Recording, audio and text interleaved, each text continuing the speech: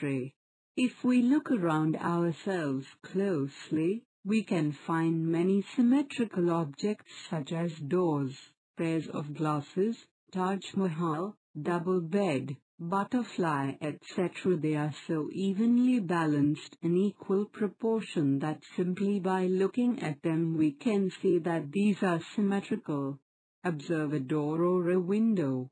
If we draw a line through its middle where the doors meet when shut, it shall be divided into two symmetrical parts. Look at the pair of glasses closely. If it is cut just from the middle, two symmetrical parts will be there. Look at the picture of the Taj Mahal. Isn't it symmetrical? Where will the line be drawn to divide it into two symmetrical parts? Look at the picture of the double bed. If it is divided from the middle, two symmetrical cots will appear. Each bed will be similar in size, shape and position. Observe a butterfly. How symmetrical is its body. In fact most of the things around us have symmetry in them. Lines of symmetry. We know that in each symmetrical figure a dashed line can be drawn which divides it into two symmetrical parts. This dashed line is known as the line of symmetry. They are sometimes called mirror lines. Some shapes have more than one line of symmetry. A rectangle has two lines of symmetry. Use the folding method. This shape has four lines of symmetry. Which of these show reflections in the mirror line?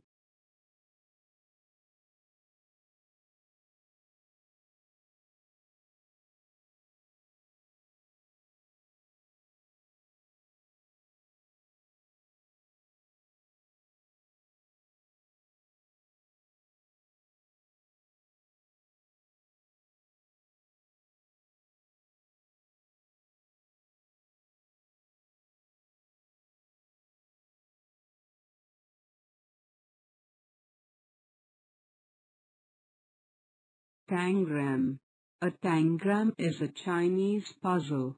A square is cut into seven shapes known as tangram pieces. The object of the puzzle is to rearrange tangram pieces in different ways to make different shapes of animals, people and things. This activity is sometimes called seven pieces of cleverness. Two big triangles, two small triangles, one medium triangle, one squared one parallelogram. Look at the figures given below. Both are birds. Both are created with seven pieces of tangram. Observe them and find out the difference. Figure 1 bird's neck is normal. Figure 2 bird's neck is stretched. Let us form various squares by using tangram pieces. Among the seven tangram pieces number 4 is a square itself. A square is formed by using two tangram pieces, triangles number 3 and 5. A square is formed by using three tangram pieces, triangles number 1, 3 and 5. A square is formed by using four tangram pieces, one big triangle no 6, one medium triangle no 1, two small triangles number 3 and 5. A square is formed by using five tangram pieces, one parallelogram number 2, one square number 4, one medium triangle number 1, two small triangles 3 and 5.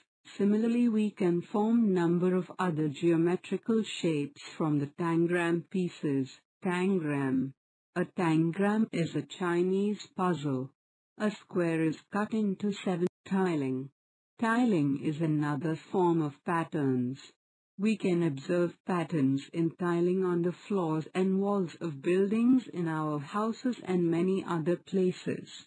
Arranging tiles to cover an area or surface without overlapping or leaving any gap is called tiling. Bathroom walls are usually covered with square or rectangular tiles. chess game is played usually on a board having white and black squares. Each black and white square on the board is a tile. We can make different patterns using one or more shapes while tiling. The combination should be used in such a way that an area or surface is covered properly without overlapping or leaving any gap. Tiling with one shape. Tiling with two shapes. These shapes leave gaps. If there are gaps between the shapes, they are not a tiling design. Tiling. Tiling is another form of pattern. Drag and drop cover the bathroom floor with tiles. Drag.